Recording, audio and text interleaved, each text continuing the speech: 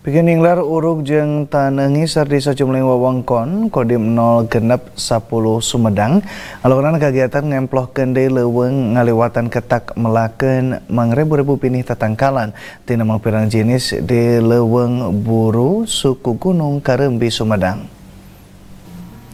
Piken nyinglar uruk jeng tanengiser serta ngungkulan ngukurang na cadangan cai piken warga Korem no genep 2 Tarumanegara mendalkan instruksi ka Kodim no genep 10 Sumedang anu rukun gawe jeng BKSDA Katut BVDAS Provinsi Jawa Barat turta unsur Porkopimcab Kecamatan Cimanggung Sumedang.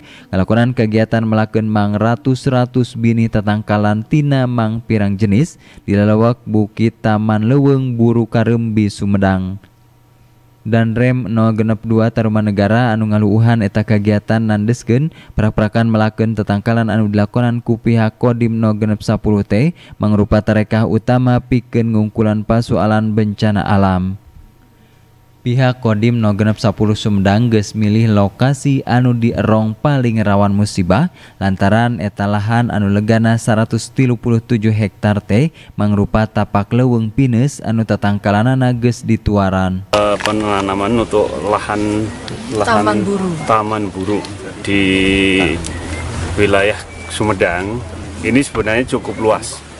Dulu tempat ini adalah hutan pinus tapi kan ada perkembangan, kemudian ada beberapa pohon yang sudah Jumlah bini tatangkalan anu dipelak di talahan anu legana 137 hektar teh teu kurang ti 17 ribu anu ngawengku bini tangkal salam, kayu manis, pulai, kasirem, kicang kudu, rasa mala, puspa, kiteja, jeung mahoni. Dan rem miharap eta ketak ngemplohkeun deui leuweung anu geus teh lain ukur harita unggul sakali-kalina tapi mayang dilakonan secara hambalan di sakuliah leweng Sumedang. Diki Guntara Bandung TV